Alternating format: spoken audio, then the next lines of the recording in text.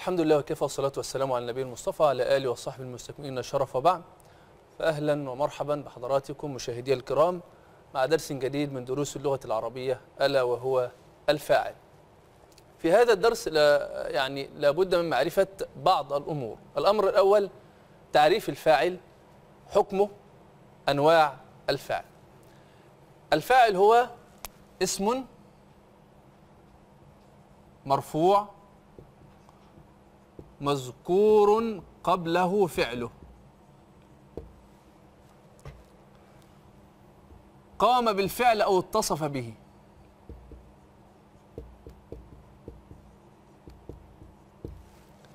يعني إيه هذا الكلام؟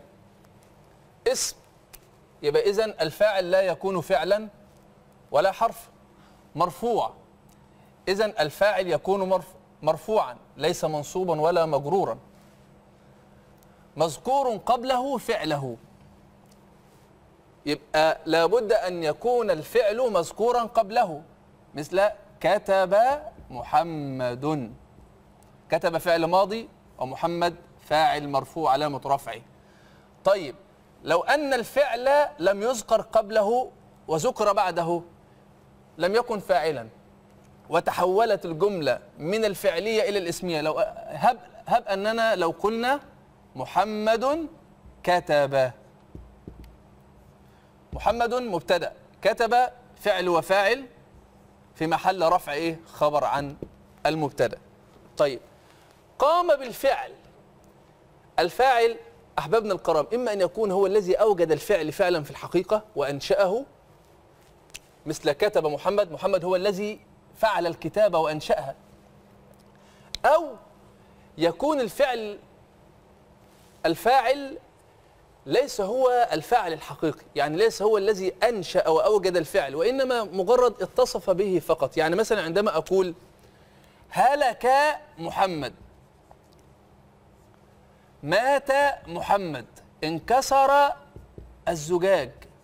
الله هل الزجاج هو اللي انكسر؟ هو اللي كسر نفسه؟ لا. لابد من فاعل آخر هو الذي كسر. لكن أسندنا الانكسار إلى الزجاج لاتصافه بالكسر. يبقى إذن هناك فاعل حقيقي وهناك فاعل نحوي. هذا هو الفاعل النحوي الذي إيه؟ آه نتحدث عنه. ف فالمؤلف هنا قال قام بالفعل ليشمل الفاعل الحقيقي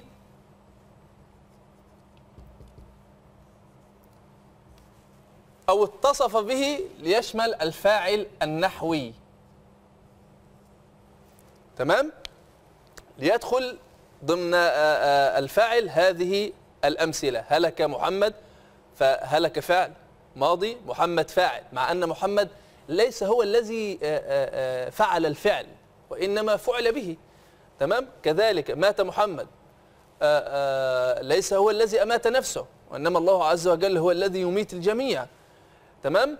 لكن عد هنا فاعلا نحويا لأن الفعل أسند إليه. أسند إليه. تمام؟ طيب. حكم هذا الفاعل الرفع. يبقى إذن الفاعل دائما مرفوع لا يكون منصوبا ولا يكون مجرورا. عفوا. طيب. أنواع هذا الفاعل. أنواع هذا الفاعل. الفاعل عندنا إما أن يكون اسم صريح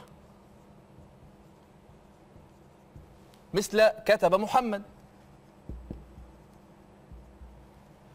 أو اسم غير صريح يعني مؤول. عندما يقول ربنا جل وعلا أولم يكفهم أنا أنزلنا عليك؟ أولم يكفهم أن أنزلنا عليك الكتاب. أن أن وما دخلت عليها في تأويل مصدر في محل رفع فاعل يعني أولم يكفهم إنزالنا. إذن الفاعل قد يكون اسما صريحا لا يؤول تمام؟ وقد يكون اسما غير صريح يعني يؤول بمصدر كما في قوله تعالى أولم يكفهم أن أنزلنا؟ يعني أولم يكفهم إنزالنا.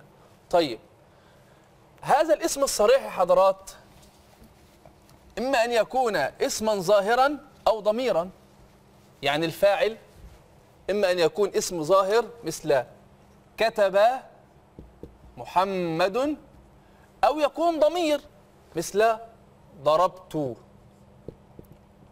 للمتكلم. وضربنا. تمام؟ وهكذا. آه بالنسبة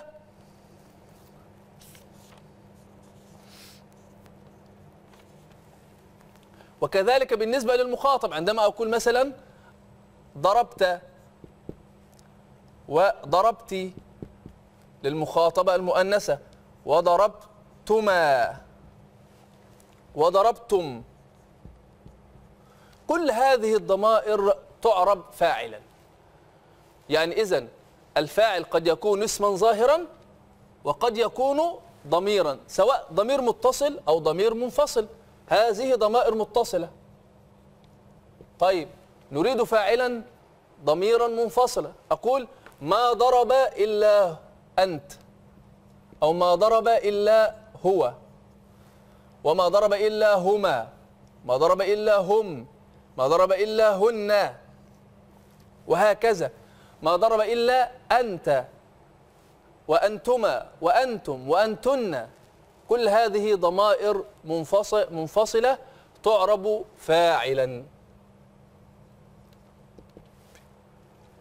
طيب نخلص من هذا أحبابنا الكرام أن الفاعل هو اسم مرفوع يذكر قبله فعل. تمام؟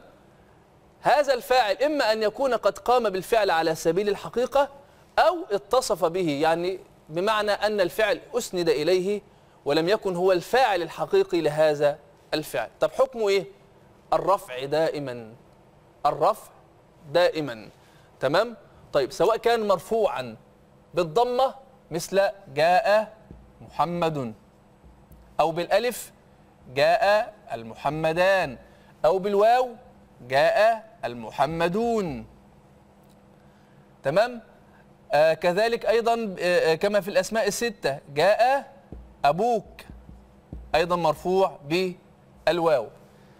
طيب أنواع الفاعل كما كنا الفاعل قد يكون اسما صريحا وقد يكون اسما غير صريح والاسم الصريح إما أن يكون اسم ظاهر أو ضمير.